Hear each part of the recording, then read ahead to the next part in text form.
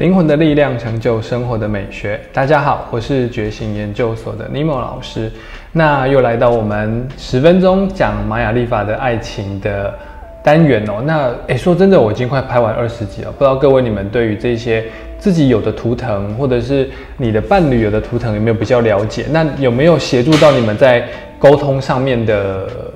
嗯帮忙呢？还是还是你们？呃，可以更有有没有更清楚你们另外一半的想法，或者是他的习惯，还有他的价值观是什么？哦，那我如果说你们有些什么呃跟伴侣之间沟通的话，都可以回馈给我，因为我很想要听看看大家对于玛雅历法用完之后的一些想法。好，那我们今天哦要进入的主题，第一个呃就是白镜子。好，那白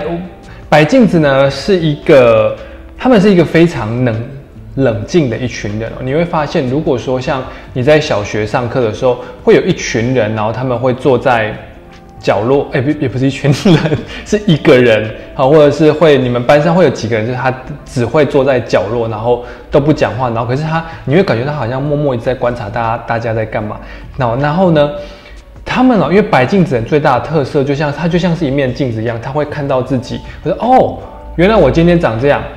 哦，原来我是长，然后我今天脸上长了一个青春痘。哦，我的脸上，呃，今天今今天皮肤状况好不好？哦，他们会很常去看自己的状况。哦，所以由于他们很常看自己的状况，加上呢，他们也很喜欢看别人在干嘛，所以哦，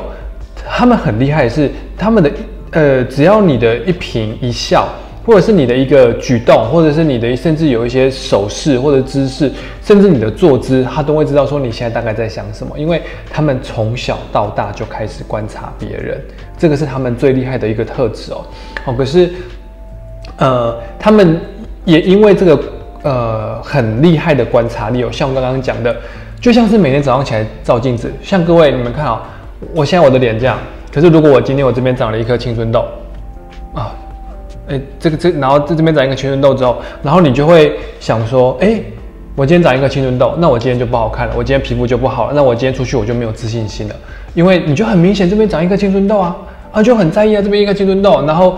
白镜子呢其实就是这样的性格，他们有时候会很严格的对待自己，严以律己啊，那也会严以待人。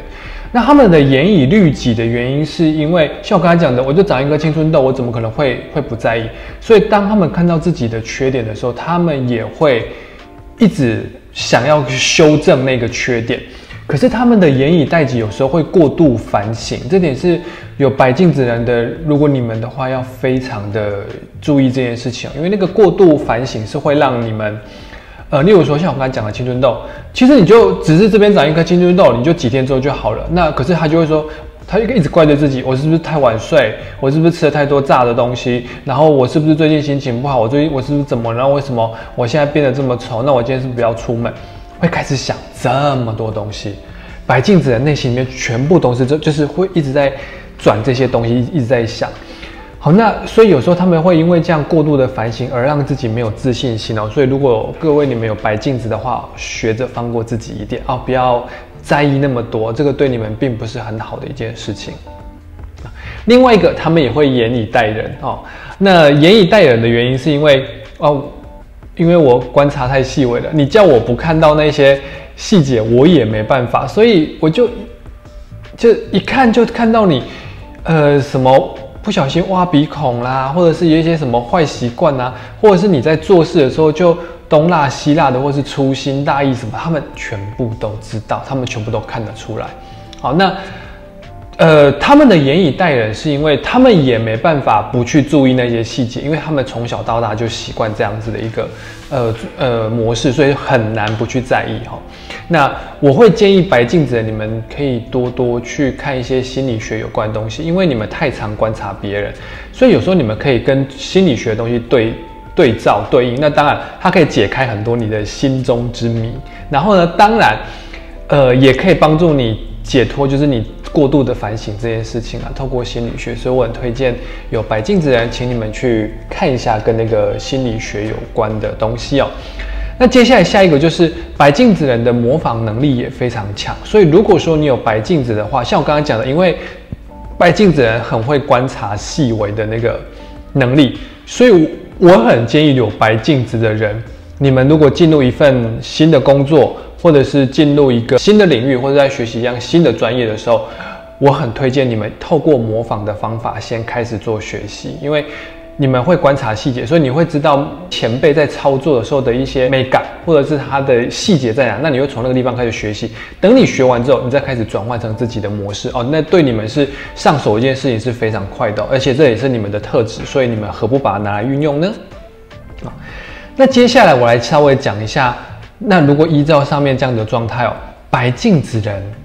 他们的就是你们的爱情观到底是什么？第一个是。白镜子人是非常的爱干净，然后会带一点点洁癖。那原因也一样，就是因为你们的观察细微嘛。好，那当然了，我觉得白镜子人他们是把重点放在他在意的东西上面，他们不一定是有洁癖哦，很很爱干净哦。他们如果觉得环境没什么大不了，他就不他就不在。可是我所谓的这边的洁癖是。他有可能是人格上的洁癖，他可能不是环境的洁癖，是人格上的洁癖哦。例如说，他就不能接受他的另外一半一定要呃呃接受他的另外一半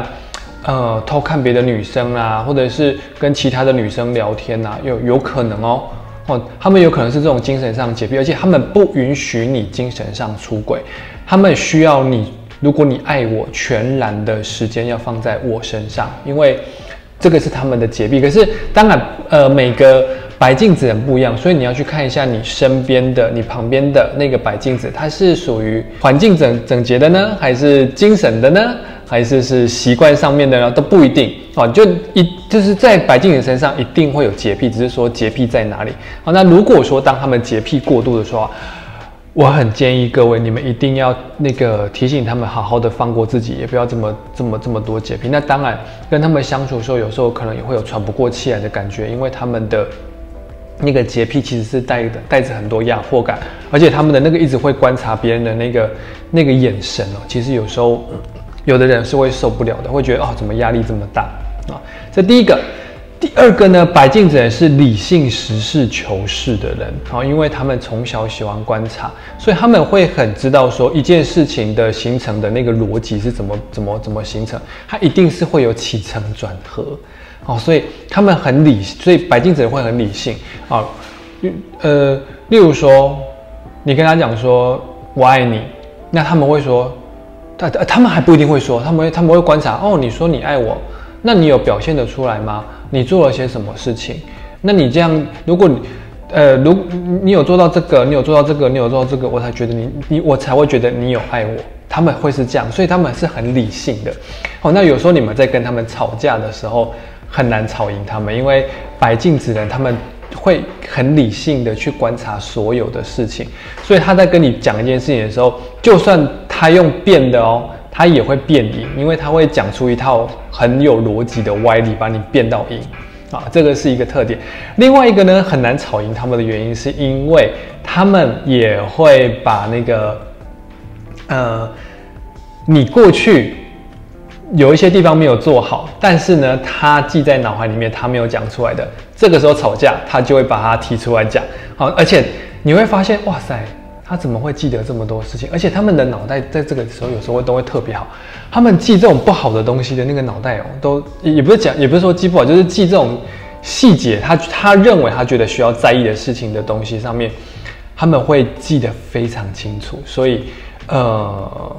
他们是一个一群，就是我像刚才讲，就是非常的理性，非常的实事求是。所以当然，呃，我我觉得不要让他们压抑太久哦，因为他们会把。呃，很多想法啊，或者是内心的感受啊，放在心里面。其实有时候，如果跟白镜子人交往，我觉得有时候你们可以主动跟他们沟通哦，不要让他累积太多，不然就会像核核弹一样这样爆炸。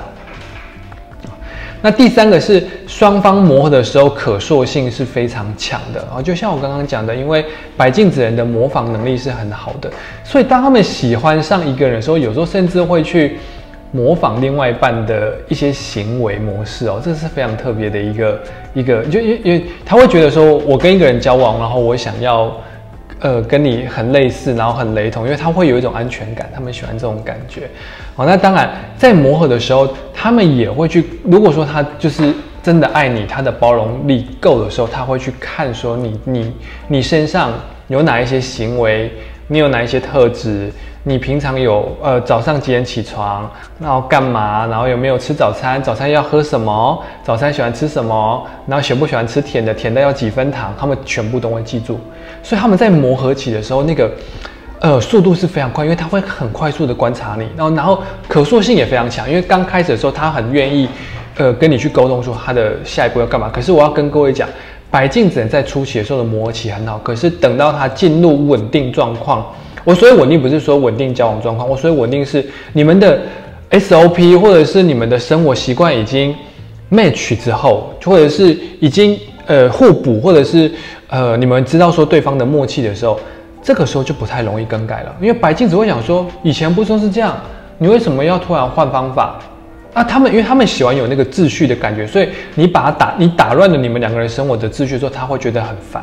哦。他们不喜欢被打乱秩序哦，所以在初期，你如果跟白金人交往，说可以多多跟他沟通这些事情，跟多跟他多多跟他聊。那如果是已经到中期，或者是你们已经到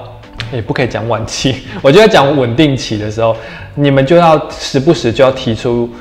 呃跟他们沟通哦，这样。对你们之间的关系比较不会进入那种大吵啊、冷战的，而且摆镜子人吵架是很可怕，他们会把你过去的东西全部都翻出来，而且他们是一针见血的，所以其实有时候那个伤痕是很难弥补。当他们真的生气的时候，好，那这个呢就是我今天想要分享给大家的白镜子图腾。好，那如果大家如果你们喜欢我们的影片的话，请欢迎你按下订阅或开启小铃铛，也可以到 Podcast 上面搜寻玛雅伟伟，然后找到我。那非常谢谢大家今天聆听，大家拜拜。